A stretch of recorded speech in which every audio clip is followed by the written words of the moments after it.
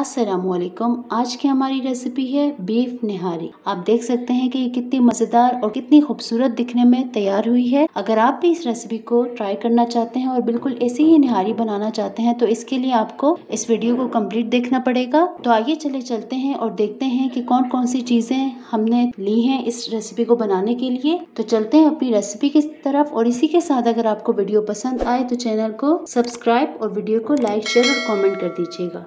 निहारी बनाने के लिए सबसे पहले आप प्रेशर कुकर में तकरीबन तीन बड़े खाने के चम्मच ऑयल शामिल करेंगे, क्योंकि निहारी में आपको पता है जो तरी होती है वो थोड़ी ज़्यादा होती है। तकरीबन दो से तीन मिनट में ऑयल गर्म हो जाएगा, फिर इसमें हम गोश्त शामिल करते हैं। ऑयल गर्म हो चुका है, अब मैं इसमें गोश्त शामिल करने लगी हूँ। तकरीबन एक किलो अच्छा निहारी का जो गोश्त होता है वो थोड़ा बड़े टुकड़ों में होता है तो आपने इसे अब शामिल कर देना है। यहाँ पर आपने गोश्त जो है बहुत ही एहतियात से शामिल कर देना है। आप देख सकते हैं कि गोश्त तभी शामिल किया है जब हमारे पास ऑयल गर्म हो चुका था। अब आपने गोश्त की तकरीबन चार से पाँच मिनट तक के लिए इसी ऑयल में बुनाई करनी है जब तक कि गोश्त का कलर चेंज ना हो जाए। उसके बाद हम इसमें लहसुन अदरक का पेस्ट शामिल करेंगे। और यहाँ आप देख सकते हैं कि गोश्त बहुत अच्छे से फ्राई हो चुका है, इसका कलर भी चेंज हो चुका है। अब बारी है इसमें लहसुन अदरक का पेस्ट शामिल करने की। यहाँ पर मैं तकरीबन दो बड़े जो आपके पास टू टेबल स्पून लहसुन अदरक है, आप वो शामिल करेंगे।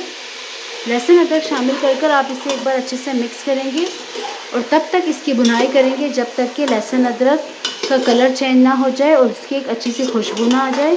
तकरीबन पाँच से छः मिनट तक के लिए हम इसकी बुनाई करेंगे, उसके बाद आपको दिखाते हैं। और यहाँ पर आप देख सकते हैं कि गोश्त की लहसुन अदरक के साथ बहुत अच्छे से बुनाई हो चुकी है।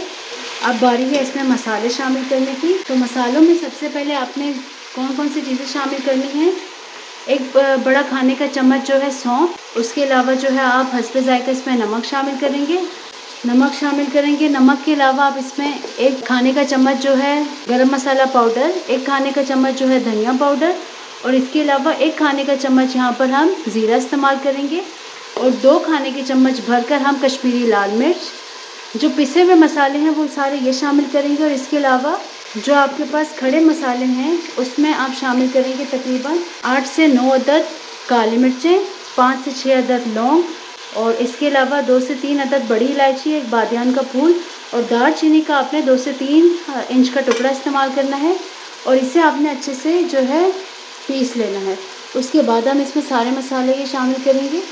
जितना भी मसाला था, हमने उसे अच्छे से पीस लिया था। और इसमें मैंने शामिल कर दिया है।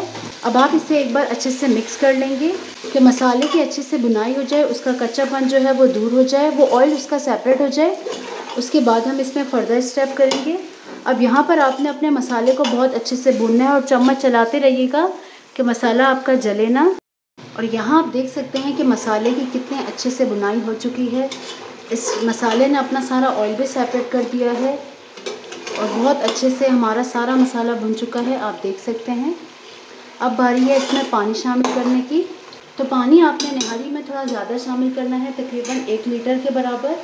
कि नहारी का जो गोश्त है, वो आपका बहुत अच्छे से गला हुआ होना चाहिए। तो हम इसमें यहाँ पर एक लीटर पानी शामिल करेंगे।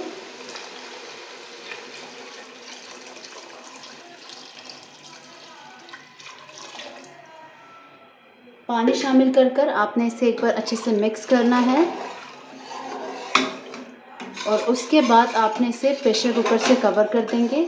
और तकरीबन आप 20 से 30 मिनट तक के लिए इसे पकाएँगे कि जब तक आपका गोश्त अच्छे से गल ना जाए, उसके बाद आपको दिखाते हैं 20 से 30 मिनट के बाद। और यहाँ पर 20 से 30 मिनट हो चुके हैं प्रेशर कुकर में गोश्त को गले हुए।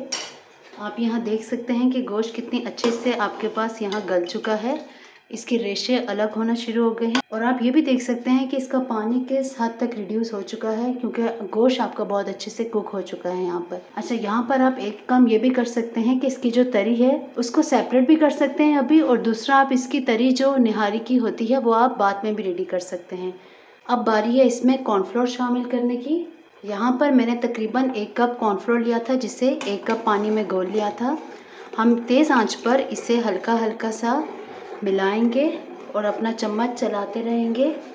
कॉर्नफ्लोर आपने हल्के हाथों से थोड़ा थोड़ा करके मिलाना है और आँच को आपने तेज़ रखना है और साथ ही साथ आप जो है चम्मच चलाते रहेंगे।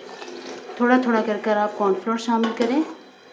जितनी आपको आपकी निहारी गाढ़ी चाहिए, उस लिहाज से आप कॉर्नफ्लोर शामिल करें। लेकिन यहाँ पर तकरीबन मैं एक कप कॉर्नफ्लोर शामिल करूँगी। और याद रखिए कि आपने चम्मच चलाते रहना है ताकि इसकी गुठलियाँ ना बने।